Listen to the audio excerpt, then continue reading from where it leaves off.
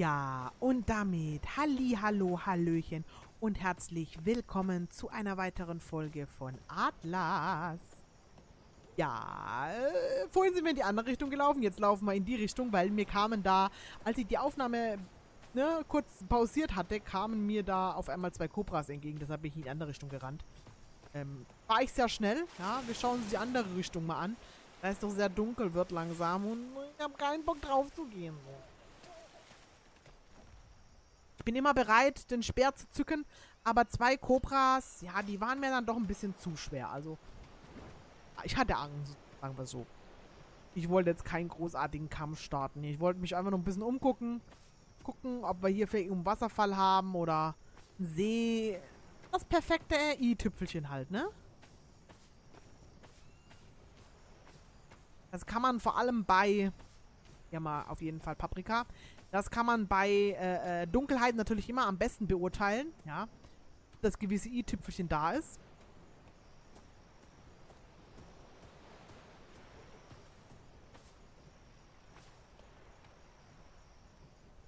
Das ist auf jeden Fall eine Statue hier. Eine, eine... Aber was für eine riesige. Alter Schwede. Aber es ist nicht das i-Tüpfelchen dabei, Freunde. Ähm, das sehe ich jetzt schon. Also ich, ich glaube nicht, dass es da wirklich was gibt, wo ich sage, das ist es, das... Da möchte ich ein Zuhause bauen. Deshalb begeben wir uns nun wieder auf unser Flößchen. Und dann werden wir darüber segeln, auf diese Insel und werden da nochmal gucken. Und wenn da nichts ist, dann werden wir weiter gucken. Auf D7. Und vielleicht dann da ja das perfekte Inselein finden. Ja? Aber das ist halt definitiv nicht die Insel mit dem i-Tüpfelchen.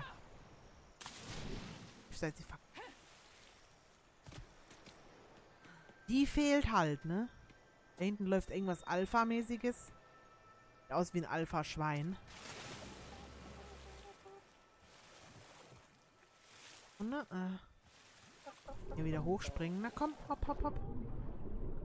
Na komm schon, spring hoch auf dein Floß.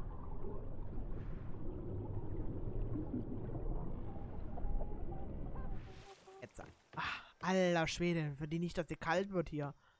So, wir machen mal eben halt das Feuer an, dann kann auch das mal Fleisch hier brutzeln, was wir hier schon alles wieder gesammelt haben. Meine Jüte, meine Jüte. Jetzt packen wir hier mal eben kurz das Zeug rein. Na, das hier kann man rauspacken. Können wir rein, das können wir rein, das können wir rein, das, das, das. Kartoffeln kann man nur auf so viel stocken, okay. Die Beeren hier können wir mal kurz raus. Das wieder andere Arten von Beeren. Scheint so. Gucken.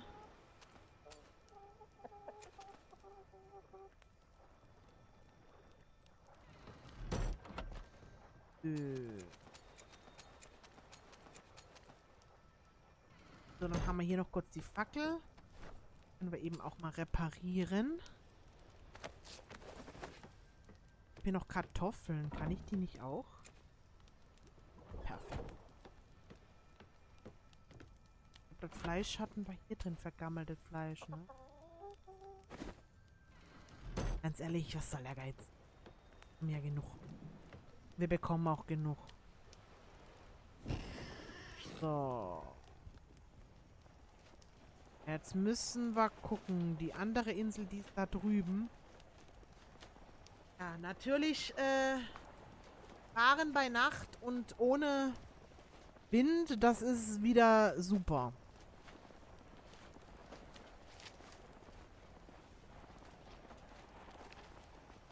Das ist wieder super, ne? Oder sollen wir gleich nach D7 hoch? Ja, da hätten wir bestimmt Wind. Ich fahre jetzt einmal hier rum und dann links. Komm, wir fahren.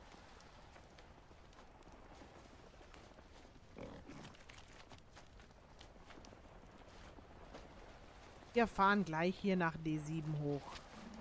Dann schauen wir uns diese erste Insel da auf D7 an. Dann verzichten wir auf diese eine Insel da. Können wir uns dann im Notfall noch angucken, wenn wir uns dazu entschieden haben, doch auf der Insel hier rechts zu bauen. Weil wir die Insel mit dem I-Tüpfelchen nicht gefunden haben. Wie oft habe ich das eigentlich gesagt, die Insel mit dem I-Tüpfelchen? In den letzten Folgen. Also in der, in der vorigen Folge, in der Folge jetzt. Ich glaube oft genug.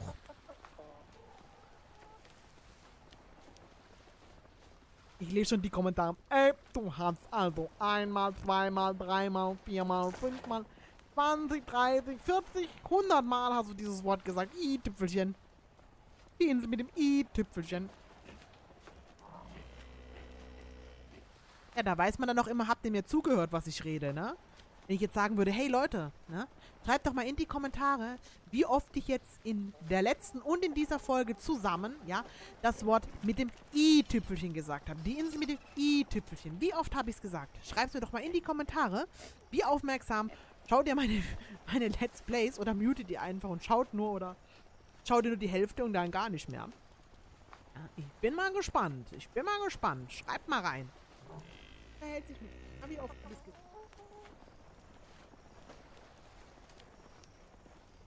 Rini sitzt hier und guckt mich an und sagt oft. Sehr oft. Und du solltest mir langsam mal was zu fressen geben. Ich habe Hunger. Ich habe immer Hunger.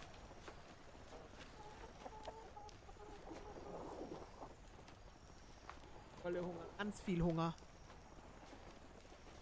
So. Wir haben es gleich geschafft. Dann sind wir einmal rum. Das Blöde ist nur, ich kann nicht sehen. Ein bisschen drehen. Haben wir hier schon mal besseren Wind in die Richtung. Und dann müssten wir eigentlich auch jetzt...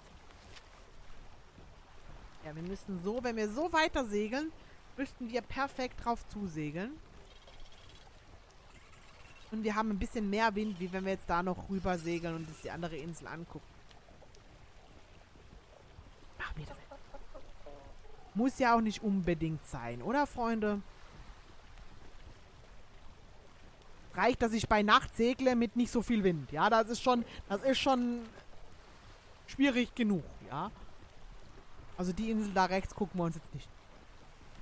Weil wir haben eine relativ sternenklare Nacht. Es sind ein paar Wolken am Himmel. Ein paar düstere, dunkle Wolken. Aber ich hoffe, die bleiben und verschwinden nachher wieder. Und entwickeln sich nicht einem Unwetter oder sowas. Das wäre anders schade. Und mein Kater könnte wirklich mal langsam vom Bildschirm weggehen. Das ist...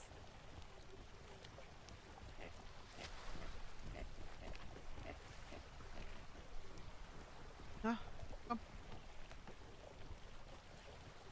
Guck so halb, so halb über den, über den Kater drüber. Er will sich gerade auch nicht wirklich hinlegen. Äh, bin immer dabei. Immer. Bei fast jeder Aufnahme ist er dabei. Nicht bei jeder. Es gibt auch Aufnahmen, da ist er halt gar nicht dabei. Da chillt er irgendwo anders. Ja? Aber das sind dann meistens die Aufnahmen, die ich entweder ganz früh morgens aufnehme oder die Aufnahmen, die ich dann nachts, abends aufnehme, nachdem die Katzen schon gefressen haben. Ne? Also, ähm, ja, wenn ich so mittendrin aufnehme, nachmittags, da ist Finn immer am Start, weil da hat man ja Hunger. Da, man ja, ne, das da, da muss man Frauchen ja rechtzeitig dran erinnern, dass bald 18 Uhr ist, weil um 18 Uhr gibt es ja dann auch bald Essen. Und es ist egal, ob das vier Stunden vorher ist, ja, oder zwei Stunden oder eine Stunde. Das ist ihm egal. Hauptsache er erinnert mich rechtzeitig dran, ne? Damit ich nicht vergesse, dass er ja Hunger hat. Da kam die Antwort, ja, Aber ich habe meine Katzen und meine Tiere und mein Hündchen. Ich liebe meine Tiere über alles und kommen. Zuerst kommen meine Tiere und dann kommt der Mensch. Sag ich euch ganz ehrlich, das ist. Das ist so und das wird sich.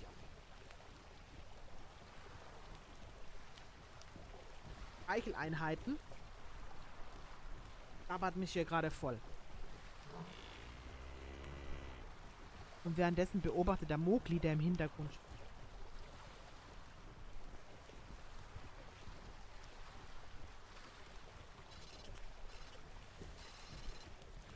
Muss hier ein bisschen den versuchen zu beobachten.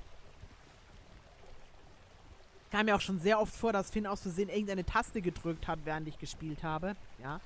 Zum Beispiel früher auf den Arma oder in GTA, ja, äh, dass er auf eine Taste kam so und du springst aus dem Auto raus, F-Taste. Meistens bei ganz vielen Spielen. Ja, oder du hast mal geschossen, obwohl du gar nicht schießen wolltest in PUBG. Oder bist gesprungen, obwohl du gar nicht springen wolltest. Assassin's Creed. Solche Spiele halt öfter mal. Das, ja, da sind einfach mal öfter Dinge passiert, wo man ja, wo nicht unbedingt angenehm waren, sagt man mal so, ne? Da gibt es auch einige Highlights auf meinem, auf meinem Kanal, also anschauen lohnt sich definitiv. Wenn man immer mal so ein bisschen scrollt, sich mal so guckt, da gibt es einige lustige Dinge. Ähm insofern sie nicht von YouTube gesperrt worden sind, weil Manche Videos wurden einfach gesperrt oder gelöscht von YouTube.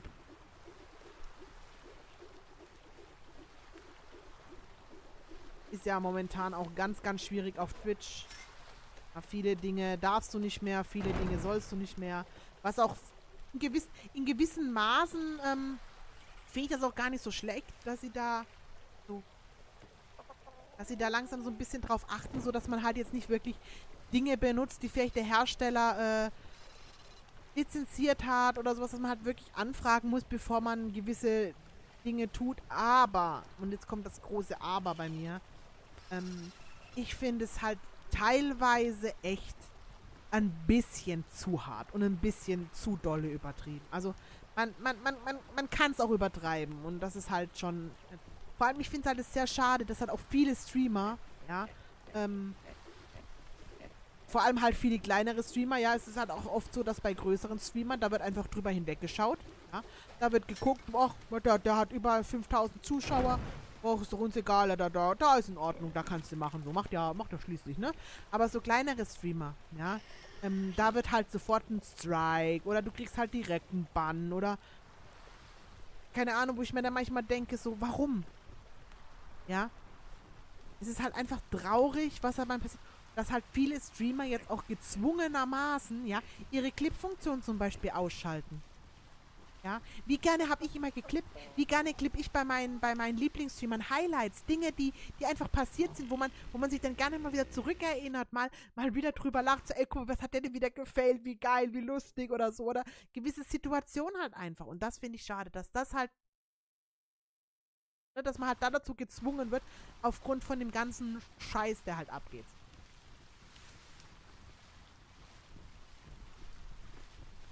Auf der einen Seite ist es gut, ja, dass halt ne, gewisse Dinge einfach nicht für jeden frei zugänglich sind.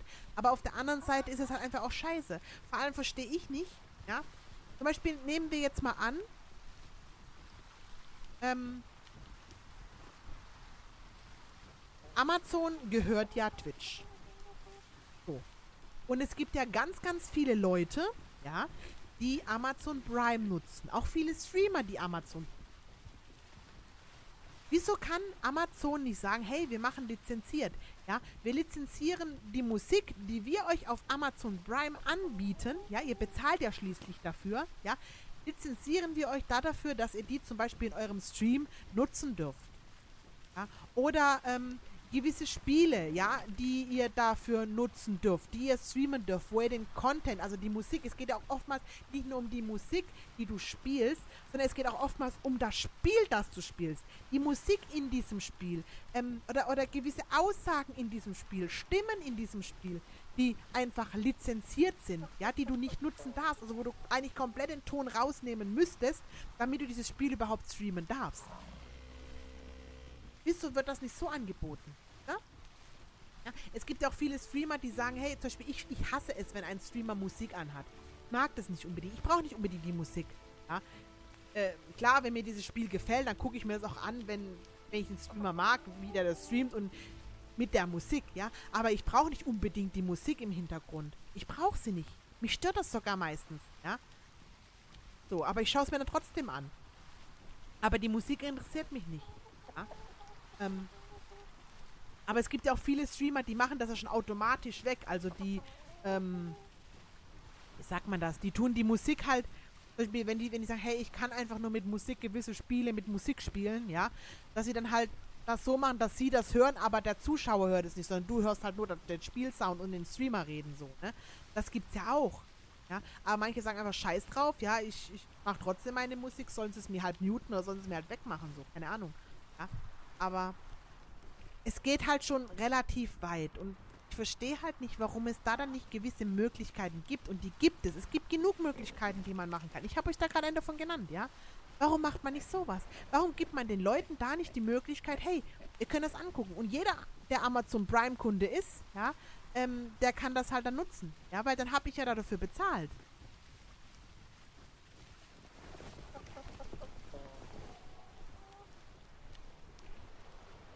Ja, oder den Leuten zum Beispiel eine kleine Möglichkeit bietet, hey, wenn ihr auf Twitch unterwegs seid, ja, und wenn ihr auf Amazon unterwegs seid, ja, also beides, Brieffield Isle. Ja. Da, warte mal, ich mache mal Feuer aus. Ähm? Wenn ihr Amazon Prime-Kunde seid oder wenn ihr jetzt bei, bei Twitch registriert seid, ja, dass man dann halt sagt, hey, wenn ihr unbedingt ähm, Musik haben möchtet, Musik spielen möchtet, Musik hören möchtet, bei eurem Lieblingsstreamer, ja, dass man nur so eine kleine Funktion einbaut, wo man sagt, hey, wenn du bei Twitch dich registriert hast, ja, und noch ein, wo sie halt ein bisschen ein kleines, kleinen Zusatz noch hast, ja, dass du dann einfach diesen Streamer ähm, tappen kannst, also was du ja immer noch kannst, suchst du. Ich rede gerade durcheinander. Ich, ich blick's gerade selber nicht, was ich eigentlich sagen möchte. So. Ich fange nochmal von vorne an. Ja? Wenn zum Beispiel Amazon sagt, hey, ja, alle Streamer, die Amazon Prime haben und nutzen, ja, ähm, können Musik abspielen und das völlig lizenzfrei. Ja? In ihrem, in ihrem Stream. Ja? Und dass man halt vielleicht auch gewisse Funktionen dann in der Hinsicht einbaut, dass wenn dieser Streamer also jetzt Musik spielt, dass er dann halt was Bestimmtes anklicken muss auf Twitch, ja, dass das dann nur Leute zum Beispiel ähm, ähm, ähm, schauen können oder hören können, ja, die bei ihm Sub sind. Zum Beispiel, ja. Es wäre wär, es wär jedenfalls mal ein Anfang. Meine, es muss ja nicht immer so sein, aber es, es wäre halt mal ein Anfang, den man machen könnte. Weil ich bin ganz ehrlich, ja. Ich brauche halt die Musik nicht. Aber manche Leute, manche Leute mögen halt die Musik dann und dann gucken sich dann die Musik an oder so.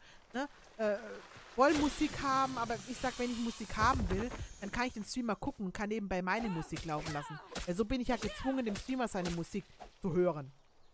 Ähm, aber es wäre halt schon mal ein Anfang. Oder dass man halt, hey, darfst das Spiel und das Spiel streamen mit Musik, ja, weil du bei uns Amazon-Kunde bist.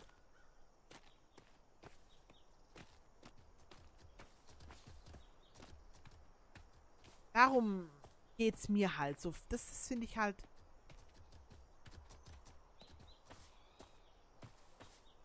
Das wäre mir zum Beispiel halt wichtig. Weißt du, dass, dass man halt Spiele streamen kann, ohne sich überlegen zu müssen, muss ich da jetzt anfragen auf die Lizenz, dass ich das streamen darf oder kann ich das so streamen?